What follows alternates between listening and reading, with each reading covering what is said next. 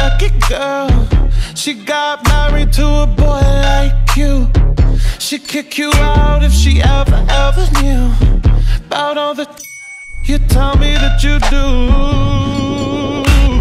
Dirty, dirty boy. You know everyone is talking on the scene. I hear them whispering about the places that you've been.